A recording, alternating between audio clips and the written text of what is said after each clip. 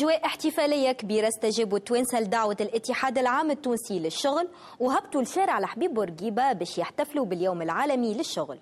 على اختلاف الانتماءات الإيديولوجية للتونسيين إلا أنهم احتفلوا بعيد الشغل في شارع الحبيب بورقيبة كل واحد وطريقة.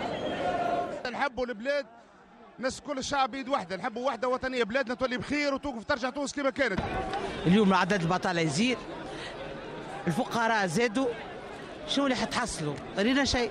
أنا عضو من من النهضه فرحان برشا اليوم فرحان برشا برشا مع الشعب التونسي الكل هكا واللي فما معناتها ألفة بيناتنا وفما معناتها أخوة بيننا بين الاتحاد وبين الحزب الكل وبين معناتها المعارضين. جئنا من أجل تونس من أجل تونس عاشت عاشت تونس حرة مستقلة. تو عيد الشغل جاي ونحن فرحانين به الكل وإن شاء الله التوانسه كل يكونوا في خير.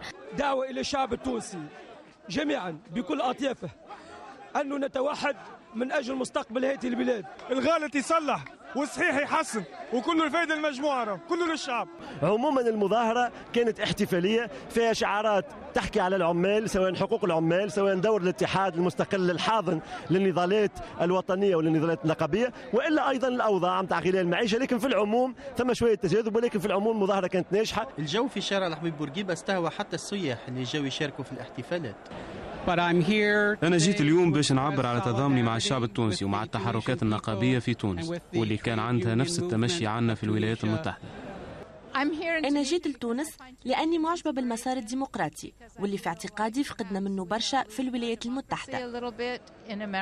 الاحتفال كويس يعني الناس ماشي بخير بدون يعني أهم شيء إنه البوليس مبعد عن الناس. نحن كنا خايفين إنه يضربوا الناس مثل 9 أفريل. موزايك من الشعارات والانتماءات لكنها وحدة التونسيين حول مطلب مشترك هو التشغيل كوسيلة لتحقيق الكرامة وأحد الشعارات اللي قامت عليها الثورة.